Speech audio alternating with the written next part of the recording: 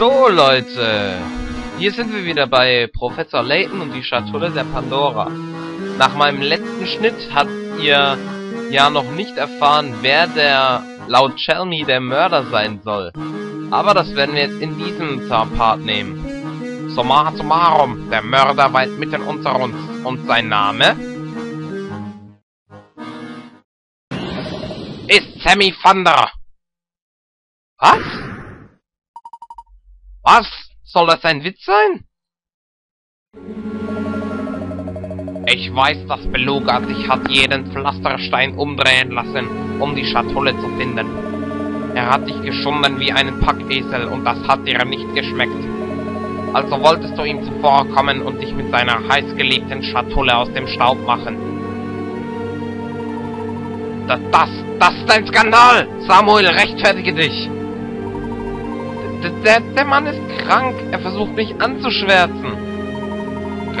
Darum also finde ich die Schatulle nicht. Du hast mich hingehalten. Nein, ehrlich, ich schwör's, bei meinem Lockenstab. Bitte, Onkel, du kennst mich doch. Ich bin zwar nicht vernünftig und so, aber sowas... Pah, die Geschichte kannst du mir in London erzählen, in der Zelle. Los, Abmarsch! Der Herr Schaffner war es also. Wer hätte das gedacht? Aber wenigstens ist der Schuft nun gefasst und wir können endlich wieder aufatmen. Professor, glauben Sie wirklich, dass Sammy so, zu so einer furchtbaren Tat imstande wäre? Nun, wir haben lediglich dieses zerrissene Foto aus der Wohnung von Dr. Schrader und...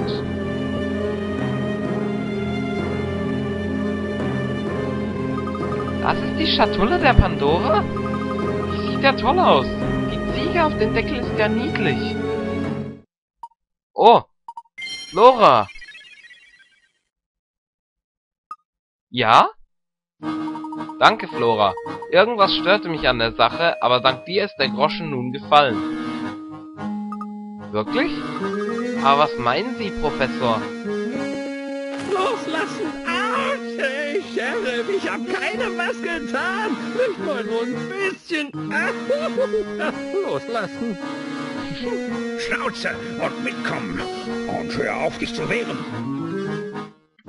Einen Moment bitte, Inspektor Cherry. Ich fürchte, wir alle sind einem gewaltigen Irrtum aufgesessen. Was? Sehen Sie nicht, dass ich zu tun habe, Layton? Was meinen Sie, Professor? Keiner der Anwesenden hat die Schatulle je mit eigenen Augen gesehen. Einzig dieses zerrissene Foto zeigt eine Abbildung davon. Ja und? Kommen Sie zur Sache. Gern, Herr Inspektor. Es gibt nur eine Person, die weiß, wie die Schatulle der Pandora wirklich aussieht. Der Täter selbst. Dieser hat die Schatulle schließlich mit eigenen Händen entwendet. Natürlich. Und ich habe den Schuft gerade am Schlawittchen. Keine Gewalt! Schnauze halten, du Schatullenklau! Au! Schmerz! Nicht die Haare! Ich bedauere aber, Sam ist unschuldig. Ja! Was? Leighton, erzählen Sie doch keine Märchen, Mann! Also gut, wer soll denn dann ins Kettchen? Verstehen Sie es nicht? Wenn der Schuldige tatsächlich unter uns weilt, hat er oder sie die Schatulle selbst gesehen. Und das trifft allein... Na? Hm? Auf dich zu. Was? Flora?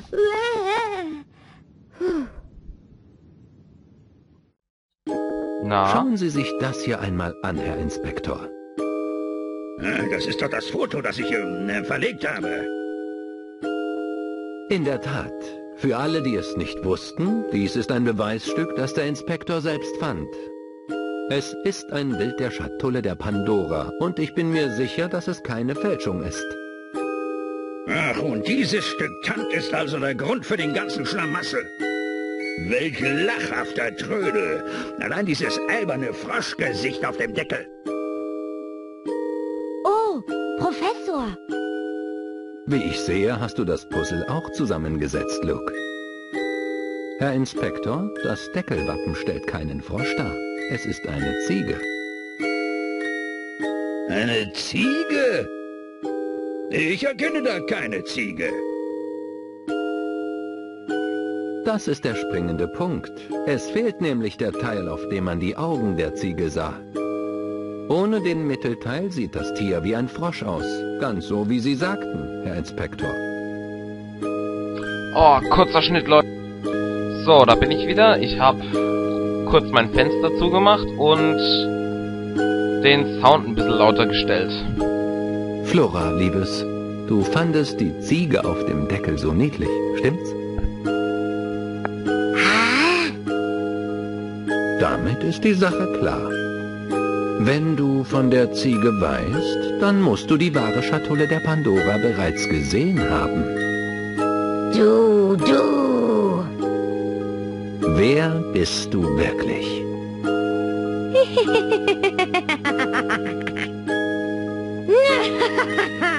Ganz schön clever, Layton. Ha, Musstest meine Tarnung schon wieder auffliegen lassen, wie? Na, könnt ihr euch denken, wer es ist?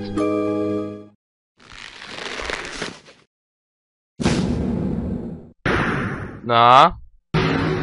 Don Paulo. Sei verflucht, Layton! Fluch dir und deinem albernen Hut! Don Paulo.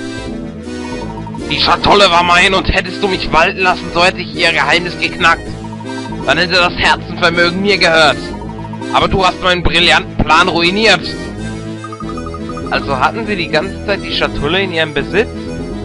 Ein wahrer Geistesblitz. Du stehst deinem Lehrmeister ja nichts nah. Nach.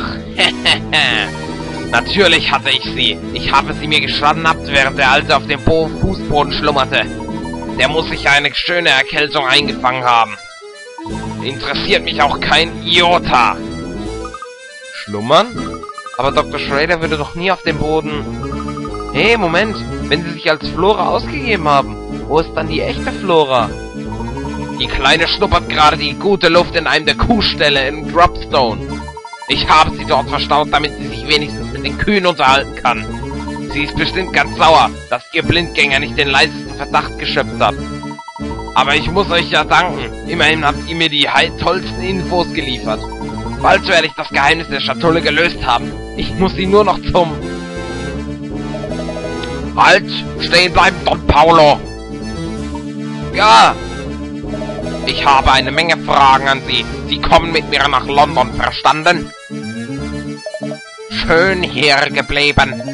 Ha, hab ich dich, du Galgenstrick. Ha, einfältiger Schupo. Don Paulo, er kommt jeder Schlinge. Au! Hey, stehen Sie nicht bloß darum, der Halunke macht sich davon. Ne, du Narr, glaubst du, ein stupider Querulant wie du könnte mich jemals fassen? Adios, Layton. Don Paulo.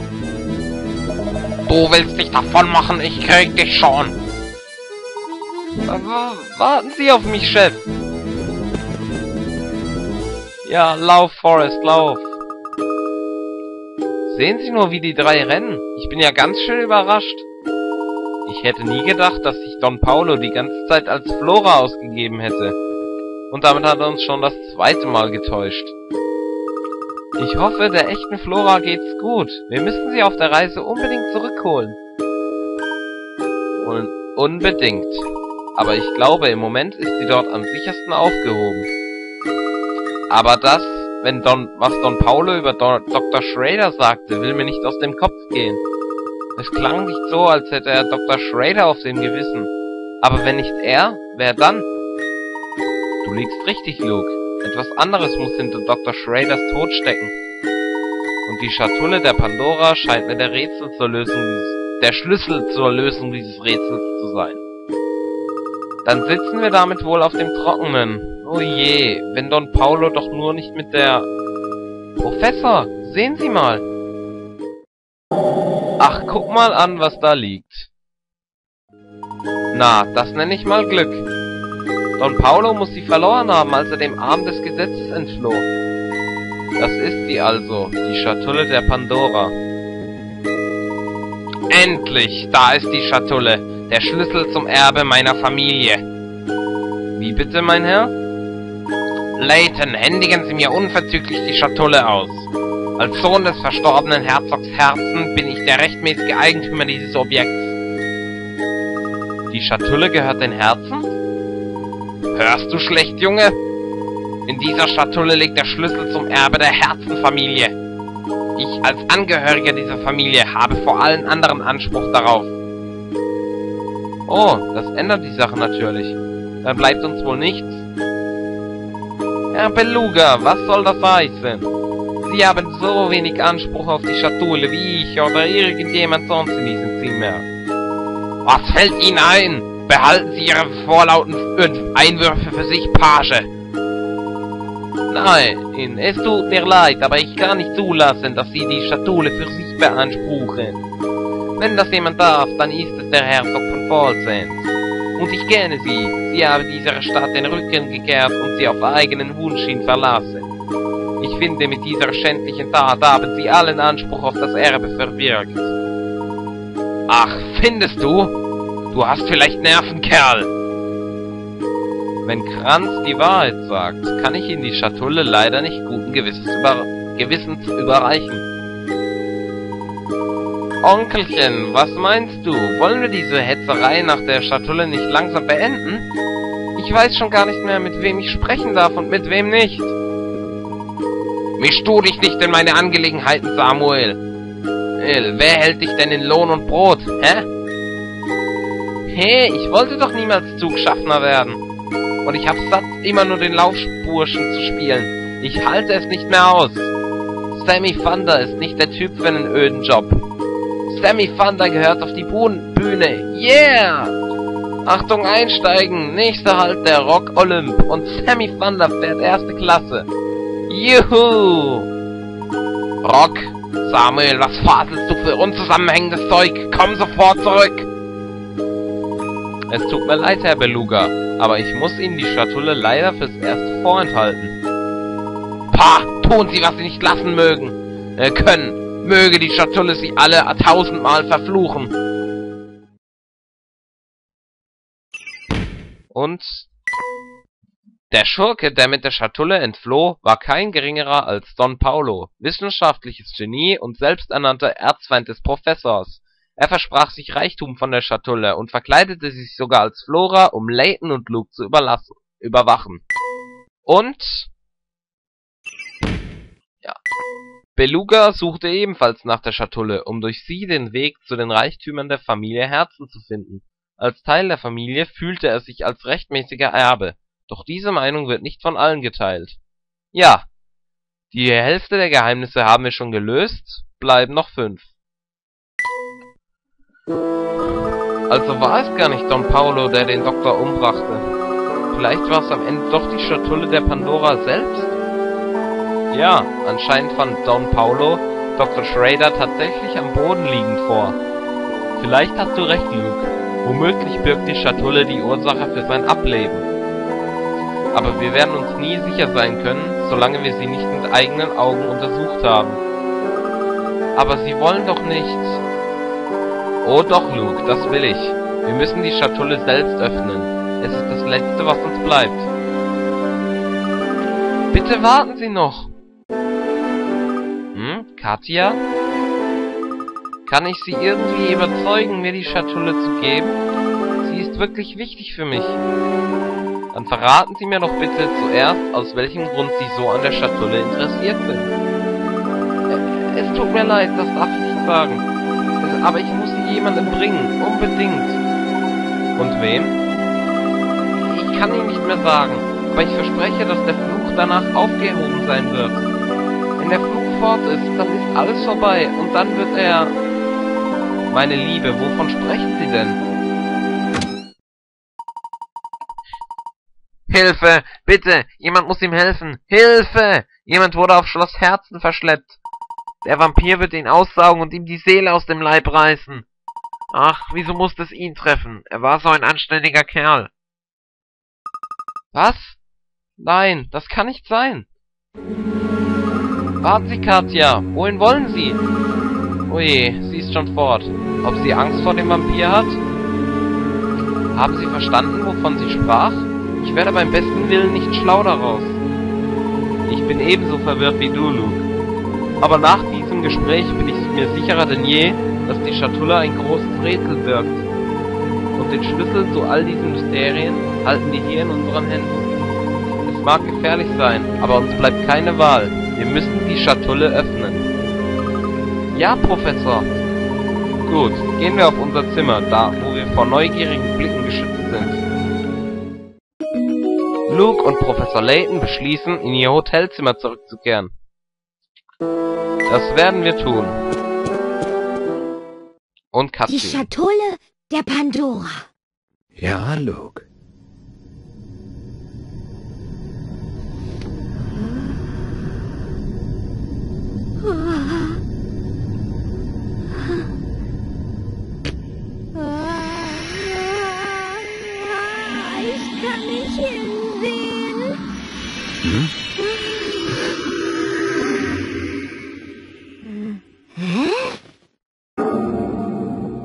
Nichts drin. Die Schatulle ist leer. Und wir leben noch. Also trifft meine Vermutung zu. Was meinen Sie, Professor? Ein Stapelwürfel. Wir müssen zurück in die Stadt und uns weiter umhören. Ich habe einen Verdacht, den ich überprüfen will. Luke und Professor Layton beschließen, sich in Fall Sands nach weiteren Informationen umzuhören. Dann finden wir mal in der Stadt ein paar Hinweise. So. Ah, wir werden wohl erst mit ihm reden müssen. Ah, hallo, meine edlen Retter. Nur dank euch hat mich der Sheriff Schnauz nicht ins Kittchen verfrachtet. Als kleines Dankeschön habe ich mal den Kurator souffliert, euch das Museum aufzusperren. Ist nicht die Welt, aber vielleicht findet ihr dort ja irgendwas, was euch weiterbringt. Schaut unbedingt mal rein. Danke, Sammy. Es wäre ja fast haarig für sie geworden, was? Bin immer noch ganz baff, dass Herr Beluga selbst der Herzenfamilie angehört. Ja, mein Onkel hat nie besonders viel darüber gesprochen. Ich weiß, dass er die Stadt nach irgendeinem Streit mit seinem Vater, dem Herzog, verließ. Seinem Bruder erwähnte er aber oft, er hatte ihn wohl lieb, obwohl er ihn verlassen hatte. Aber nun hat sich dieser faulige Vampir im Schloss eingenistet. Ich sage es ja nur ungern, aber der Untote hat den Herzog wohl kaum am Leben gelassen, als er einzog. Ein Tagebuchschlüssel. Luke und Professor Layton beschließen, erneut das inzwischen geöffnete Museum aufzusuchen. Das werden wir tun. Aber erstmal schauen wir uns die neue Seite an. Heute ist ein Tag der Freude. Nach langem Werben meinerseits stimmte das Mädchen zu, das ich liebe, mich endlich zu, mich zu heiraten. Ich muss mich sofort auf ihre Ankunft vorbereiten. Ich würde das ganze Schloss für sie umkrempeln, um es für sie gemütlicher zu machen. Ich werde außerdem ein besonderes Kleid für sie in Auftrag geben lassen. Sie wird darin zauberhaft aussehen, das steht ganz außer Frage. Gut, die Hälfte vom Tagebuch haben wir. Fehlen noch sechs Seiten. Also, dann... Die beiden wollen hier einen Tee trinken. Was tue ich nur, was tue ich nur? Sehen betrübt aus, werte Dame. Können wir Ihnen behilflich sein? Nun, ich bin sehr wohl betrübt, jedoch kann ich die Angelegenheit mit niemandem besprechen. Wie wäre es denn mit einem Tässchen Tee? Vielleicht könnte das Ihre Stimmung etwas heben. Mir reicht es langsam, das Problem noch länger zu durchdenken. Eine Pause könnte wohl nicht schaden. Ich möchte nicht wählerisch sein, äh, klingen, aber ich habe gewisse Präferenzen. An einem Tag wie diesem wäre ein starker Tee mit einem Hauch von Traumpflaumen genau das Richtige. Mein Tee muss stark genug werden, sonst will ich ihn nicht. Und ein wenig Traumpflaumen wäre herrlich. Tee.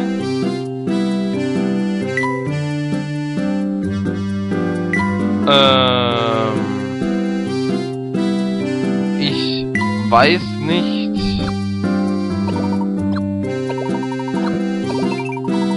Äh, ich glaube, das wird nichts, oder? Nein. Äh, ja. Ähm, wisst ihr was? Ich mache den Schnitt und wir kümmern uns vielleicht im nächsten Video darum. Bis denne, euer Ash Ketchum.